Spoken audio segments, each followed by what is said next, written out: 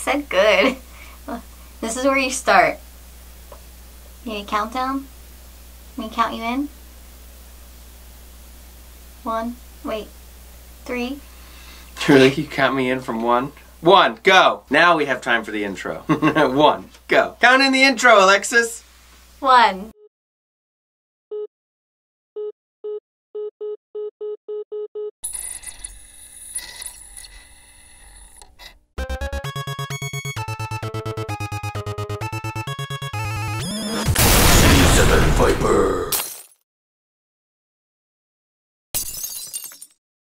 Hello and welcome to the Candyman store. I am your host, C7 Viper. Uh, you thought I was gonna say Candyman. Not yet, I didn't put the things on. I'm filming this on the day that I was supposed to be at Rev. That's right, it got canceled this year. Ballahack had no choice because the state of Virginia put a bunch of restrictions on them and they couldn't have it legally. So what better to commemorate this event that should have happened but to do a video about past Rev events. But first, I'm gonna open this. This was sent to me by Caleb Tucker Airsoft. Feels like, I'm gonna say papers. No, might be a refrigerator. I got a regular, boring old knife to open it. There's a paper. I was right. It's a paper. It's from Caleb and it says, Dear C7 Viper, I feel a Brad Pitt is more suitable for your channel. And then down here it says, What's in the box? Two Jagarms pistols from ASGI. Much love, Caleb Tucker Airsoft. And then there's something else in here. Mm a Caleb Tucker Airsoft patch. There's the patch. All right. Should I? You can do this. Oh, is it in camp? Like, can you see it? Okay. Well, we gotta put it in a better spot. But uh, how's that spot? Yes, that's a good spot. I like that right there. Thank you, Caleb Tucker Airsoft. I love that the patch section from you guys is growing. That's This is like the highlight of the patch wall behind me. I like that everyone here can see it. Now that we got Caleb's patch, I'm going to show you a couple cool things I was planning on bringing to this event. First was this box. And in this box was something you will never believe. Bubble wrap. No, not that. And there wasn't paper either. But this is money. Cash. Hundreds. Whole bunches of them. And I know what you're thinking. Is he the new Mr. Beast? Not even close. None of this is even remotely real. It really looks like it though, doesn't it? It's like a million dollars. This is like literally the most money that I've ever seen in my life, if it was real. But it is not. I got all this prop money from a website called Prop Orange, and they sell prop money. They reached out and wanted to know if I wanted to do a video about some prop money. And I was like, how does that fit into airsoft? Hmm. But then Alexis was like, uh, yo, you go to an event where you trade bunches of stuff. Why don't you just get it for that? And I was like, duh, great idea. I got the monies and it arrived in this box really quickly and now I don't know what I'm going to do with it. I guess we are going to wait until Rev comes around and I'm going to bring this with me and we're going to make it a quest and I'll give away some of these stacks, these fat stacks of fake money. They actually look really realistic except for right here it says for motion picture use only. And then on the back it says the same thing for motion picture use only at the top and that's really the only difference from the real money. So I guess you could say this is the best kind of paper that I could get if only it were real. So I am going to be bringing these with me to at least Rev or Fertile Crescent, whatever's next. And we're gonna think of some really cool quests and giveaways for some of this. Maybe I'll play some pranks on some guys in the parking lot, like drop a few bucks and record their reaction when they find out it's fake. That would be kind of funny. I think I might even use some of this in a scenario game at my field in some gameplay. Because we used to do this bank robbery scenario where we would steal these fake piles of money and it was really just ripped up paper. But this is a lot nicer. Again, it was Prop Orange. Thanks to them for sending me this so that I would have some epic props to give away at Rev, even though it's not happening now this year, but 2021 is coming soon. So look out for this. And the next cool thing that I was gonna bring with me was candy. I was gonna bring a whole bunch of candy. One of my friends from way back in the day, his name is Tyler. He used to run a company called Rapid Fire Airsoft. He eventually got out of the airsoft industry and opened his own candy store. And he reached out to me on Instagram and was like, hey man, I've got candy and you're the candy man let's make this happen. And I thought that was a great idea. I can't believe I didn't think of it because he and I talk a bunch and I went and visited his store. It's in Lancaster, PA. So his store is called Sweetish. That's Sweet-ish and it's a Swedish candy store. And they have a whole bunch of awesome candies and snacks, snackticals, you guys know. And he offered to give me a bunch of candy to take with me to give out at Rev. Now that's not happening. He called these the 8 millimeter BB candies and he told me to try shooting them out of a gun, so I'm going to still have to try that. I'm going to see if I can shoot these out of an 8mm pistol or something.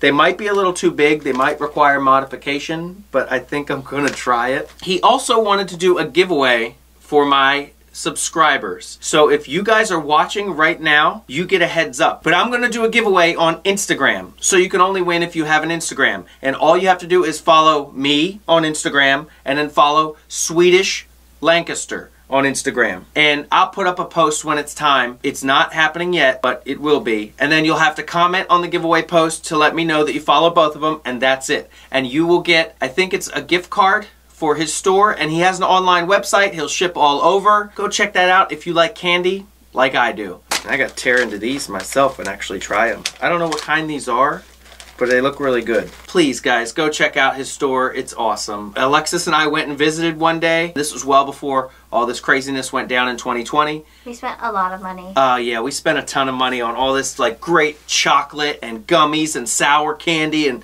it was just crazy. He has a wall of candy that you can select whatever you want and oh, I think I spent like three hours in that store. It was insane. So yes, go check him out and look for that giveaway very soon on my Instagram. Just look up C7 Viper. You'll find me. You'll see. You'll know who I am. And now, I'm going to show you some of the stuff that I, the Candyman of Rev, use at Revelations. So first, I'm going to go with the hat. I have three different top hats, but this is the one I started with and the main one I use. It's just a standard old top hat. It's called the Mad Hatter, and I always put some goggles on top. Not only do the goggles look cool, but sometimes if I need to swap out from fog or something, I can just walk off the field, swap them, and then I've got a brand new pair of goggles ready to go.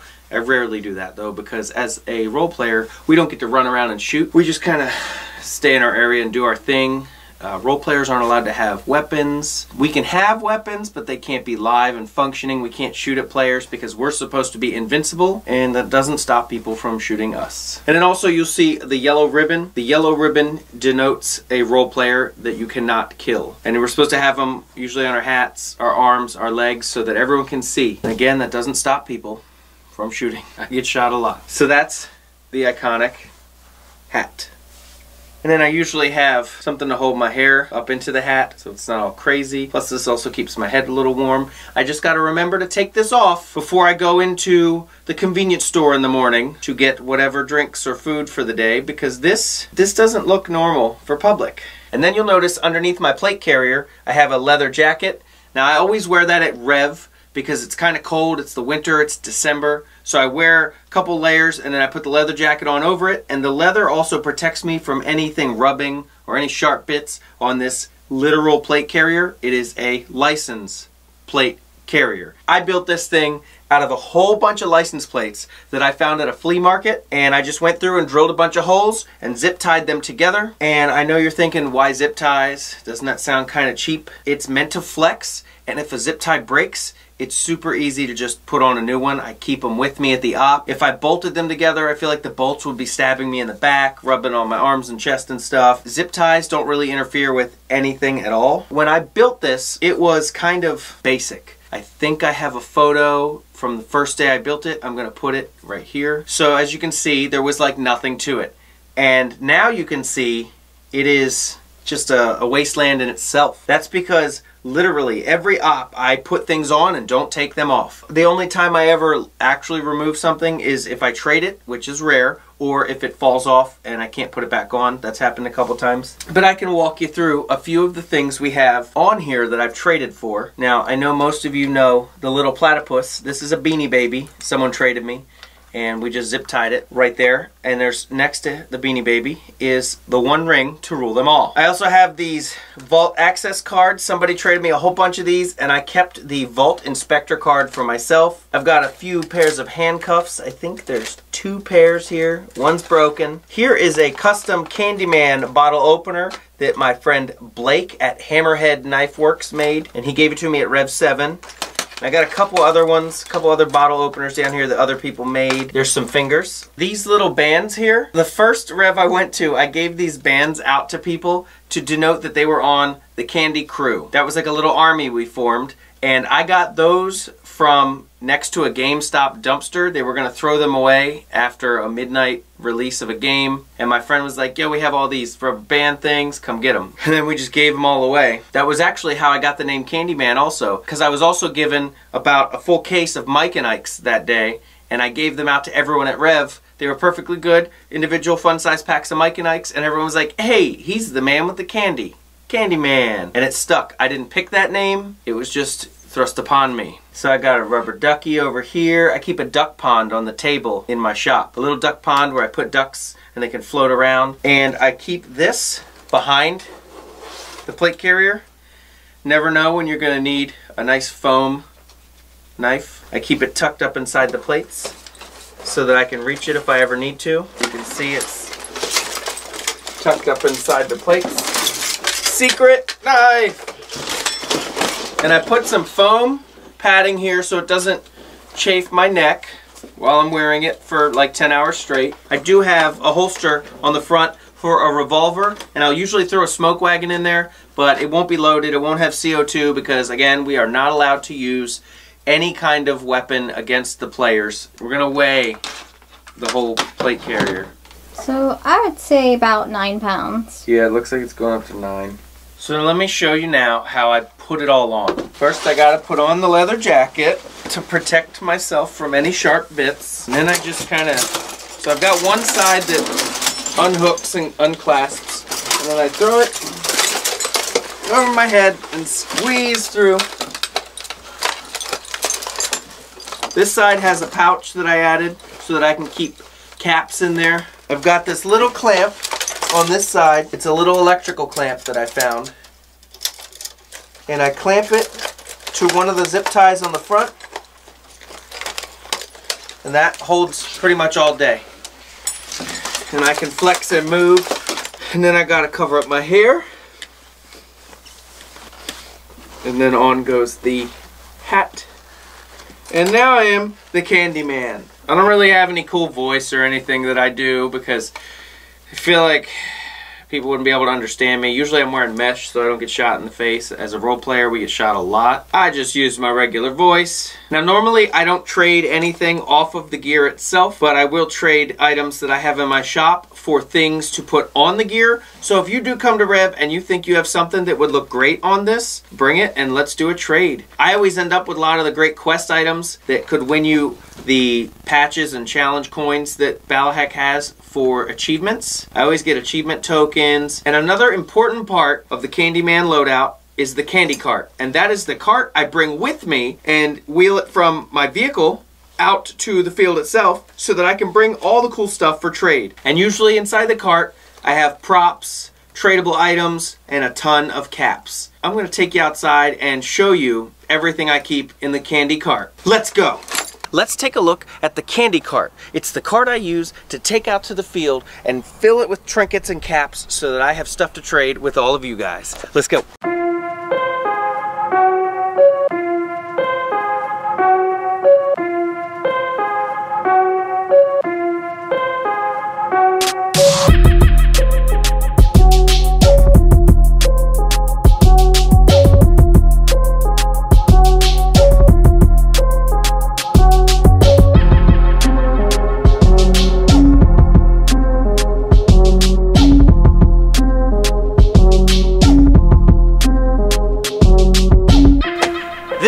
Candy cart. This is all the stuff I would have taken with me if Rev was today, which it was supposed to be, and now it's not. Stupid 2020. Now, I'm gonna go through some of the Candyman cart and show you a few items that I use. I can't go through everything because it's packed. First, this was my Candyman staff. It's just like a LARP weapon that I wrapped with duct tape and some fake barbed wire. And then I put a little syringe on here because this is what they used for stim packs to heal people. So what I would do is I would go up to people and be like, boop, you're healed. And I would boop them back to life. Got a little bit of liquid in there. I think that's like Gatorade. Don't drink it. Always gotta have a seat. This is the seat I use when I'm in the store. And I sit down and I say, welcome to the Candyman's something or other. Give me some trades. This is something I traded for. It is a prop chainsaw. Somebody traded me this, it was pretty cool. This little dude made out of coconuts was a religion's idol that they worshipped and someone stole it and traded it to me and it was part of a quest and it was really cool so I ended up hanging on to it. It's kind of like Rev history right there. This was the Candyman Staff 2.0. It's just a prop sledgehammer that I bought at Spirit Halloween. I put some fake syringes on top and I go around and be like, boop, you're healed. I say it's gonna hurt for a second, but then you'll be back alive. Somebody traded me for this sword. It's a big old plastic sword. Somebody traded me for this foam wrench. I built this robot arm out of sheet metal and I don't have a battery in it right now but if I did this flashlight on the front would light up if you look in here it's wired up to take a battery and there's a trigger in there a switch all up inside there so that was my fake arm this is usually what I wear at Fertile Crescent this is some skulls somebody traded me and that's a candy cane. This is a little strainer thing and we use it for taking payments. They throw the caps in and we close it up. Please pay the man. Thank you. And then they don't come out. But then you open it back up. Oh! And then in here is all caps. Pretty much the whole thing is filled with caps that I've collected over the years. Yeah, this whole thing is full all the way to the bottom of caps. pretty much the whole thing is caps. I can pretty much buy everything. And then over here is my utilities. Some nails, hammers, tape. You never know what you got to build in the apocalypse. There's a whole bunch of stuff people traded me. There's a toy giraffe. These are cool. These are medicines. This is Buff Out from Fallout. People just take candies and make their own medicines or drugs. There's another one here is Rad-X. That one's Rad-X. So they're from Fallout. Somebody made those. So there is a little of everything in my Candyman cart. Here's a bag of gold. They're just gold coins. These are all the new Hat caps that they came out with last time. They got new logos on them. These are real caps, and then everything else is considered counterfeit caps. So we got red, white, and yellow. I think white is the least expensive, yellow is medium, and red is the most expensive, I'm pretty sure.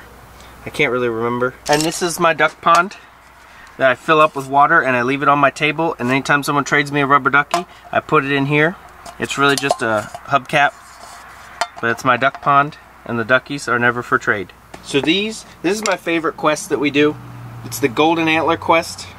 So we have two of these golden antlers and I'll hide one somewhere on the field and I'll have another one. And when they come and ask for a quest, I'll show them one and say, I need you to find the matching golden antler. And every year somebody returns the golden antler to me. And I think this, these have made it for like four years without being stolen or lost. That's everything that the Candyman brings in the candy cart out to the field. And I'll get there early and I'll wheel it out through the crowd of people and I'll take it to my building, usually the second floor of the tower, and I'll set up my little shop and I'll hang stuff all over the walls. So that's it. That's the Candyman cart.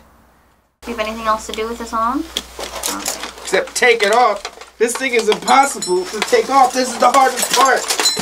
But after a long day, taking it off is the best part. That is everything in my Candyman loadout. Again, I don't use an airsoft gun for this loadout because we're not allowed. So if you were in an apocalypse environment, what kind of loadout would you use? What weapons would you use? Let me know in the comments. Like it if I made you laugh because that was difficult to put on and take off. Pretty sure I made you laugh a little bit, even if it was just at me putting it on. Remember guys, we're all teammates, so I hope to see you guys at Rev one day, or maybe any other op, maybe a field near you. Let me know what airsoft field you go to. Maybe one day I'll get to it. And uh, just have a good day. Merry holidays, whatever you celebrate. Keep an eye out for the upcoming holiday videos that we're doing. It's going to be really fun. We have a couple planned. Don't forget to go enter the giveaway and subscribe. I'll see you guys later. Woo. uh,